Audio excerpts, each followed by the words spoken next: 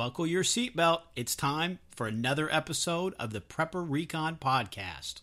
If you're near Cincinnati, start making plans to come see me at the Cincy Preparedness Expo at the Sharonville Convention Center on October 15th and 16th. Besides all of the fantastic prepper gear available, it's a great place to learn vital survival skills. And make sure you stop by the Prepper Recon booth to say hi. Check out cincypreparednessexpo.com for tickets and information. Whether your plan is to bug out or bug in, campingsurvival.com has all of your preparedness needs, including fish antibiotics, long-term storage food, and and water filters. Use coupon code PREPRECON for 5% off your order at campingsurvival.com. Today's guest is Eve Gonzales of Trading Post in the Woods. Eve, welcome back to the show. Thank you so much. It's great to be back. Um, can I, Mark, can I take a second and once again just thank all of your listeners? Um, as you know, I have been on the road traveling a lot, doing different um, events and expos and stuff, and it's just great. Um, and encouraging to have your listeners come up. I mean, they just come up and introduce themselves and let me know that they've been listening to the podcast and they really appreciate it. And I'm so grateful to know that they're they're listening and that they're working at getting prepared. And so, um, you know, as they're an encouragement to me, they're telling me I'm an encouragement to them, and so that's awesome. And I just I love it. So if somebody is listening to this podcast and they're going to be in an area where I'm going to be at, please stop at our booth and um, you know, we'd love to meet you and, and get a chance to talk to you and everything. So for all those that who have come by and stopped and talked, thank you so much. Um, it really has been just a delight and an encouragement and an uplifting to know that people are really working to get prepared. And uh, everybody's going to get an opportunity to to come out and meet you, and me also, of course. Uh, anybody that's living anywhere around the Cincinnati area, which that's that's so central to so many other places like Lexington, Kentucky, Louisville, Kentucky, uh, Columbus, Ohio. Um, there's a lot of big cities that are really right there in that area, and it's it's it's kind of a short, maybe hour, maybe two hour drive for for a lot of people who come out, spend the day.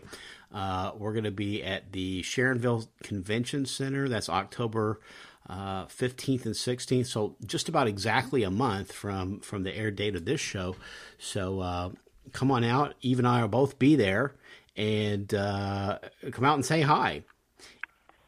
Yeah, that'd be. You know what? When we were both in Atlanta, that was a lot of fun um, as well because you have so many listeners, um, and so that was fun. It was fun to, uh, you know, seeing them come to to see and greet you, um, and then also come in to introduce themselves to us. So that was a lot of fun and then you're going to have your new book available in Cincinnati. I do have. I do. In fact, um, that my, my, new book will be out. Um, I'll be sh- I'll be doing it or doing a book signing actually in September at the Gateway Preparedness. Um, I think it's 17th September 17th and 18th, and um, yeah, so it's called Major Disasters Lessons Learned, and for all the people who have attended the my training class that I do at these events, everybody walks out going, "Oh, do you have a book?" And we'd love to have a book. And so I finally sat down and and wrote this book to really help in all the different areas that people have been asking for assistance in in their preparedness. You know, everybody is on a different um, uh, a different path or journey in their preparedness. Some have been doing it for many years, some are just starting. And so, what I tried to do was to take everything that I've seen over 18 major disasters, um, the things that worked and the things that really don't work, the good and the bad, um, to help people as they're constructing their preparedness game plan. And um, so, yeah, I'm really excited. I'm so excited to have it done. I'm excited that we'll be able to have it out to them, you know, to people who are are working hard. Um, it'll be a guide, um, you know, to hopefully help them if they forgot certain things, you know, that they'll uh, go, oh yeah, yeah, that was something I forgot. If they just don't know how to do something, um, really, I know a lot of people struggle with making their game plan and and that's the biggest thing. I mean, you have to have a good game plan. If you don't have a good game plan, it's just you're in trouble. And so I a lot of times people tell you, "Well, have a game plan, have a game plan," but they don't go through the steps on a nice simple way of putting one together. So hopefully I did that for them in this book um, and covered a lot of other topics as well for, for them. But I am very excited that it's going to be out because so many people have asked for it. And I felt like I was letting them down by not getting it done. So now it's done, and I I know that I have done um, the best I could to try to help people get prepared, and that's my goal. I just want to help people now so that they don't have to be a victim we see later on. And, and, you're talking about game plans. I'm sure at all of these conventions you get to meet people that, that have got some uh, really great game plans, and, and maybe some that have some that, that aren't so great. Now, Cincinnati, they've got a big zoo in Cincinnati. They do, don't now, they? They yeah. do. Now, how how how's this for a game plan? You just take over the zoo, and uh, and you know the animals are breeding, so uh, you just you eat whatever they breed, and and and and you, all you got to do is hold down the zoo. Is that is that a good game plan? you know, that actually that is some people's game plan, not necessarily in Cincinnati, um, but I did have somebody who came up to us in another um, state. And and that was they. I had asked them what their game plan was, and their game plan is that they will, they and their team will take over the county zoo, and um, they will kill anybody who tries to get in, and all of the animals will become their food. It's a horrible game plan. Awful, awful. Um, for anybody who I, I'm going to assume that nobody listening to the, this podcast will have that as their game plan. Well, they the didn't before you came on. well, right? Well, but I know there's some guys out there right scratch. I know there's some people out there scratching their heads right now. But what? What if I modified it? What if I brought in some, you know, some okay. Uh, okay, ten so tons of fodder? Stop. You stop scratching your head right now, and you don't even think about that making part of your game plan. What you have to realize, though, is that there are people who are making that their game plan and I mean they were so sincere. They would take out, they would kill anybody who was going to try to get in that zoo. I of course pointed out all the the holes in that game plan and they they they were very angry with me and are determined that's their game plan and nobody's talking them out of it even if they get assassinated um or executed okay um for doing that. I mean, they just really think that's a great game plan. It's horrible, horrible. So don't make that your game plan. Don't even think about it. It's not a good one. so um, I guess they're thinking, you know, big animals. There's lots of animals there, so they all have a food source, and the animals are already enclosed, so it'll be an easy target for them. Um, th- what they're not thinking about is the size of a zoo and how do you defend that all? I mean, how do you keep all those people out? And besides that, you just can't go and take over a zoo. Um, you know, all those animals have to be fed. Um, you know, if and um, there's just no rationale behind that one. So, um, if any, if by any chance that's somebody's game plan who's listening to this, um, they need to just start over, and they should get my book that will be out on the market and um, and get that and read it and and make a, a real responsible game plan that you know they could live through um, because you know I don't foresee anybody who goes in and takes over a zoo surviving. You know they might for a time, but there there will be consequences for the, those actions. So you and know, not a good game plan. one of the questions you ask in your book is why people do not prepare. So, uh, can you tell us why wouldn't somebody prepare if if, if they know that uh, bad stuff's coming down the pike? You know what? There are in the book I go through the seven different. There are seven different um, major reasons that we heard of why people did not prepare. Okay, and I I take each one of those and I um, kind of like nullify the reason and give a way around it. So, one of the reasons that a lot of people don't prepare is because their spouse isn't on board. Okay? They're like, you know, I want to prepare, but my spouse has said, no, I, I don't want to prepare. I don't want you spending any money. I don't want you doing this or that. No. And I tell people, I'm like, you know, a lot of times when you sit down with your spouse and you find out and, and discuss it, you find the truth behind it. And a lot of times the reason is is because they don't know what to do. So it's easier to say, I don't want to do it. No, we're not going to spend any money. No way. Because they don't know what to do. Um, and also, they don't want to be bothered with it. So I tell people, find out what is the reason why your spouse doesn't want to prepare, and then um, address those reasons. And if it's because they don't know how wh- where to begin, you can go. You know what? That's okay. We we'll do it together. Um, I do know how to do it. I've been reading about it. I've been listening to podcasts on it and everything, and and we can do this together as a family. Um, if it's because they don't want to be bothered with it, look at them go. You, you don't have to do anything. I'll go ahead. The kids and I will do it all. Okay, but if you ever want to join us and help us, that's okay. But if you don't want to, that's okay too. Um, you know, so you look at it. Um, so, so the, I mean, that's one one of the big reasons that we hear about. Uh, probably one of the, the largest reason um, was that they just didn't know where to begin. So a lot of people just don't prepare because they don't know where to begin. They don't know what to do. Um, they get bad advice. Um, you know, it comes out every year. Um, oh, it's hurricane season. You get this, Mark. You're I know where you live, okay, so you get those warnings and go, oh, you have to prepare. Um, you know, you need a two to three day supply of food in the event a hurricane comes. Okay, well, that's not going to do you any good. Two to three days of food is not going to do you any good. Um, you know, for anybody who's who's been in any kind of disaster or responded to one, I have never ever responded to a disaster where everything was back to normal in two to three days. Never. And so, you know, they're bombarded with all kinds of information. Um, they just don't know who to believe. They get scared off by the whole um, zombie apocalypse people, um, you know, who are like, oh, it's going to be a zombie apocalypse.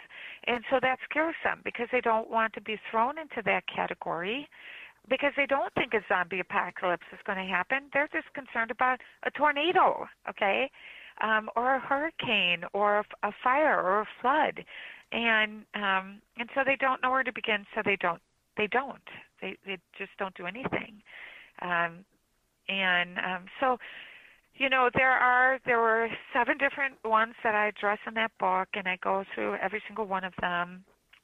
Um, I think one excuse is oh they have no place to put it, so they don't prepare. Okay, well that's just that's just an excuse. That's not um, that's not a true reason. That's uh, I'm lazy and I just don't want to make space.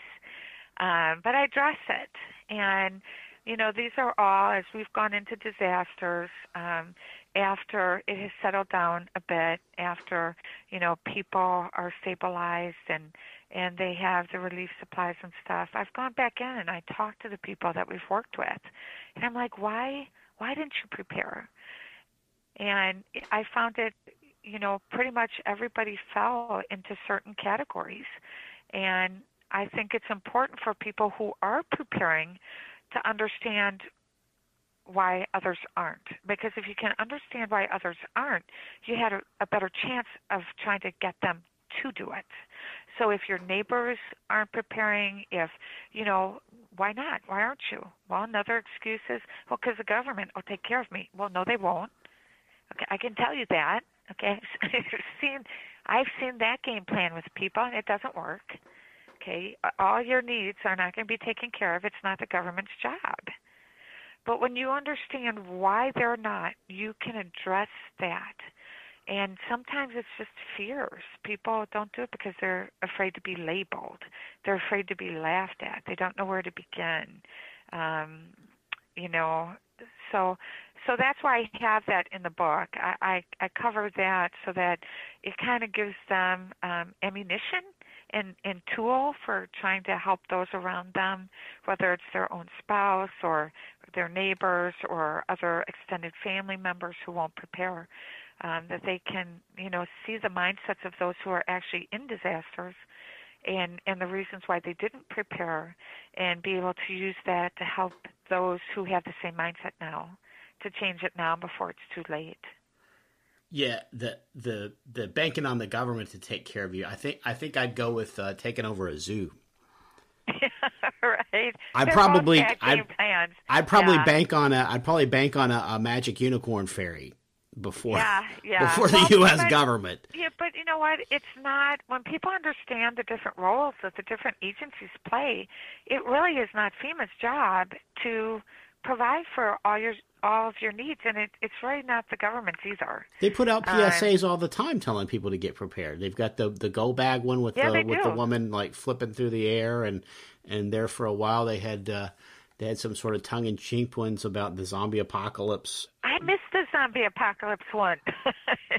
uh, they were posters. they weren't they weren't like uh, television Oh, okay, ads, but they okay. were they were posters. But then there were they had the TV ads with the the bug out bag ones okay, for the TV ads. okay. And then they've had some they've had some radio yeah, well, ones. they're trying to tell.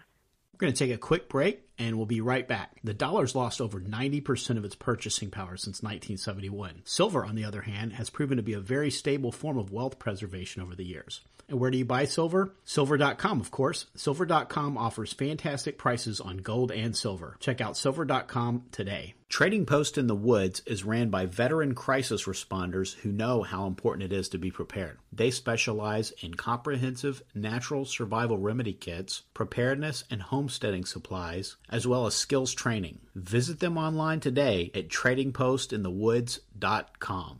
Well, you know, I remember Katrina. If you really, if people think back before Katrina hit land, okay, the president was on TV. President Bush was on TV telling people, please evacuate. This is the worst hurricane that you will have, you know, the country has experienced or it's forecasted to be. You need to evacuate. Okay, county agencies, everybody was on TV telling people, you have to evacuate. And people didn't evacuate. And then who were they mad at? They were mad at the government. Okay, well, wasn't the government's fault they didn't evacuate? I'm sorry, it's personal responsibility. They put out an evacuation order for a purpose because they knew danger was coming that the way to those people and they were warning the people to exit, but it didn't become their job to evacuate everybody. It didn't become their job to feed everybody, it or clothe everybody or house everybody. It's not their job. It's each person's responsibility to provide for themselves, to have a game plan, to evacuate if an emergency evacuation goes out, to do the things that you need to do to take care of you and your family. It isn't anybody else's job. And that's what people have to understand. And where this came about, that people truly believe that the government's going to take care of them and all their supplies are going to be provided for them and they're going to get all this housing and stuff, that's not, I mean, it's not, okay, I mean, that, it really is not their job. So, uh, but a lot of people unfortunately think that. You know, so um, I have seen the government step in and try to do things, but it's not. Uh, it's certainly not a game plan I would want to have, and it's not one we do have. It's not even one that would not. That would be way, way. I, the zoo would be way down on the bottom, and so would the government. Okay, um, both of them are just very bad game plans for anybody to count on. I tell people if supplies come into your area, great, it's a bonus. Um, but you should not be expecting it. Don't expect anything. And a lot of disaster preparedness books are written from sort of a, a speculative viewpoint, meaning that the, the authors are just uh, sort of making up scenarios in their mind um, Right. as to what's going to happen. And, and that's great if you're a fiction author like me. But uh, you're writing this from a, a position of experience. How many major disaster zones have you worked in? 18. Okay, so I have 18 uh, different major disasters behind me. and um, I guess you know what I do come from a different perspective, and there are times when I have read, you know, I get all of these magazines and stuff because I want to see what people are telling people to do. And I can tell those who have really been in a disaster and those who have not. Because those who have not come up with some really bad advice for people and it makes me cringe. And that was another reason why I wanted to get the, this book out to them was because I do have a knowledge and an insight that a lot of people don't have because I'm coming from a standpoint of of, of reality. I've seen it. Okay, I've seen it. I've been there. I've seen what these people have had to go through. Um, I've seen the mistakes they've made, and some of them made such bad mistakes it cost them their lives or the life of a loved one. And um, you know, you can't you can't ever undo that. You can't that horrible mistake that you know some people have made. They can't ever undo it. They can't go back in time. They can't put, you know, just say I want to do over it doesn't happen. You are, when a disaster happens, you have what you have and the skills that you have and the decisions that you make. And if you make a wrong decision or you haven't planned well, you're in trouble potentially, and it can be deadly. And um, you know, so when I when I read different magazines and I find some really lousy information, I've even gone out and attended other people's events and I sit there going, "Oh my goodness, you've got to be kidding me. That's horrible advice."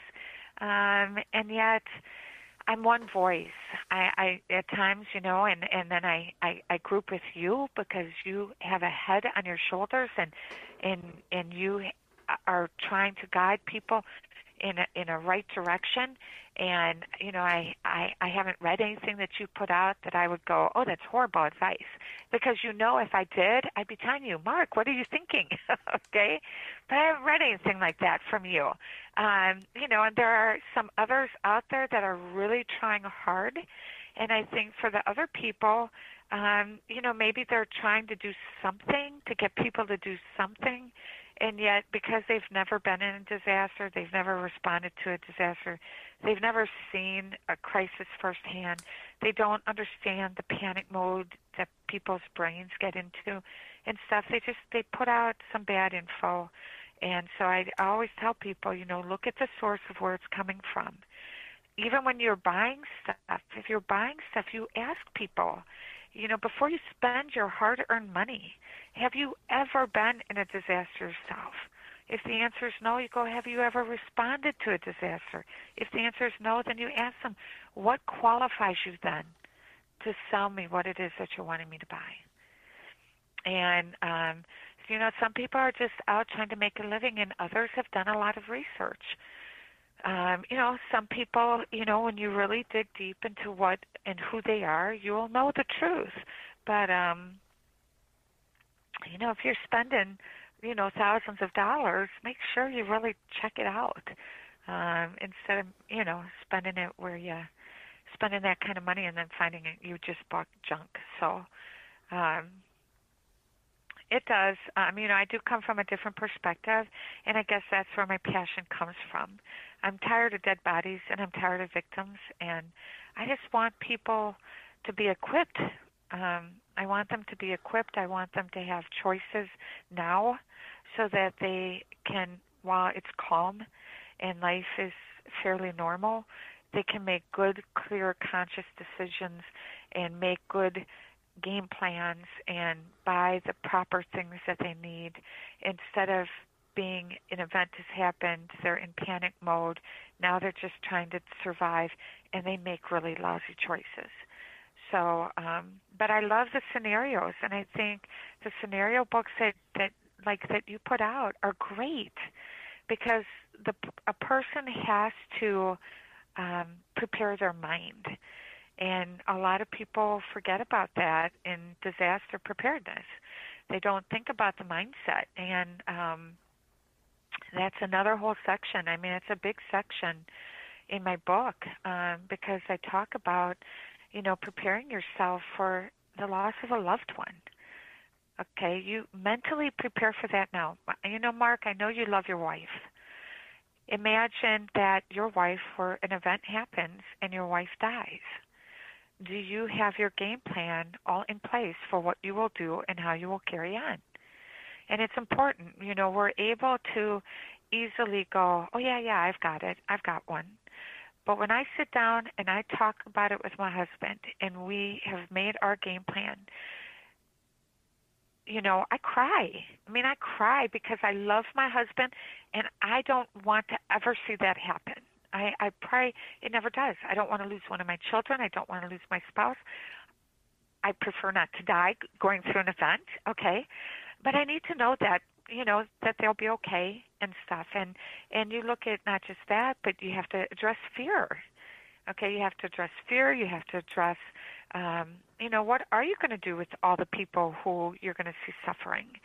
Um how are you going to handle that one? Will you be able to do it um from a, a mental perspective um you know and still be able to function? So there is um there's a lot that you have to prepare for mentally um, in a disaster, and a lot of people just they're not, and it's something that you need to. I mean, think think about it this way too. I mean, you're walking along trying to get from point A to point B, and your wife dies.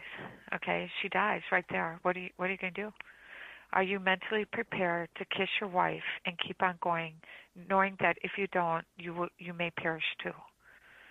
Um, and most people, the answer who's listening to this is going to be no way. No, you're not prepared. You're not prepared to leave your child laying alongside the road somewhere to quick dig a little grave and bury them and keep on going. Um, you know, with no time to mourn, because depending on what the crisis might be, you may have to just keep right on going. And are you mentally prepared for that? So, I mean, you know, I try to throw out in the book and even in my classes, and and um, I know you and I have talked about this before. Um, you know, thinking, really preparing your mind so that you can put those scenarios, and that's where your books are helpful. Um, all the scenario books that you can get, I advise people to read. Um, you have to realize that, you know, it's it's they're not true stories. But what if they were? Okay? It's giving your brain um, ideas.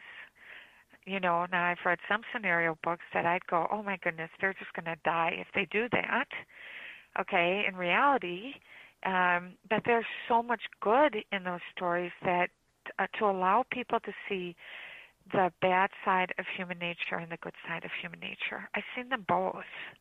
I've seen the really really ugly and i've seen the really really good and you have to be prepared for both because most of us think the really good will reign.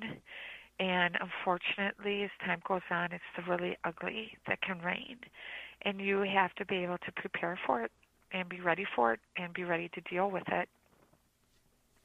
So um so you know i hope people are buying your books okay, and, and reading those scenarios where you have the scenarios and the ones that you have come up with. Mine is it's reality. This is what I've seen. But if you take the two of them and you put them together, you have a, a much better foundation, I think. You know, I'm working to build a foundation uh, for people, and then from there they they need to keep on going. You don't want to stop. Um, I can't put everything in the book that I've seen in fact, uh, my final thoughts in the book were I know that as soon as I send this to the editor, there's going to be things that I'll be going, oh, I should have put this in there. Oh, I should have done that. Um, and then I guess will be another book.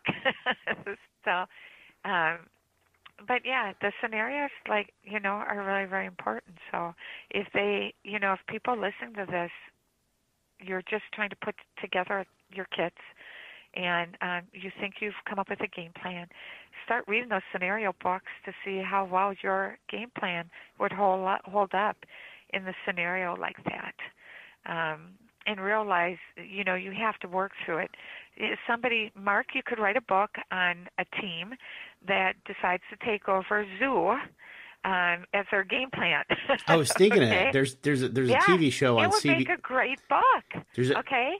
There's a TV, they, TV, show on, on CBS right now. It's called Zoo, and it's like the animals are. Uh, I have seen that. They're starting to attack humans, And so you could Right. do it, and that's their survival plan. And then it's like a, a, a zombie a, a, a apocalypse, basically, where the, the animals turn into Well, zombies. I don't and- know. I, I think you should should write a book on this group that you know makes some disaster happen, and they decide they take over the zoo, and the animals don't go crazy, but those people are certainly going. How on earth do they defend that? But at the end of the book, everybody who took over the zoo has to die. Yeah. Or I have to look at you and go, now that was not realistic. Nobody should have lived, okay? Um, unless they've all been, you know, taken off to jail um, and stuff and will have to stand trial for their crime of what they did. Okay, but it, it could make a fascinating book. Um, but, you know, when people are reading scenarios, you have to look and, and kind of judge it and go, is that uh, is that a possible scenario? And if it is, then you can take your game plan and go, how would my game plan hold up in a scenario like that? What holes do I have in in my game plan if a scenario like that happens? And start filling in the holes. If it's a not a realistic scenario, well then don't waste your time on it. Okay, but if if you think that that's a viable one, then where how would yours hold up? What what difficulties do you see happening? What complications with the plan that you made? Hi, Preppers and Patriots. That's the end of the first half of my conversation with Eve Gonzales of Trading Post in the Woods. Tune in next week for the rest of the show. In the post apocalyptic thriller, The Economic Collapse Chronicles by best selling author Mark Goodwin, America is on the cusp of financial annihilation. Matt and Karen Baer thought they were prepared for anything, but can they survive a total collapse of the economic system? If they want to live through the crisis, they'll have to think fast and move quickly. In a world where all the rules have changed and savagery is law, those who hesitate pay with their lives. The Kindle edition of the Economic Collapse Chronicles is now available as a box set. Buy your copy at Amazon.com today.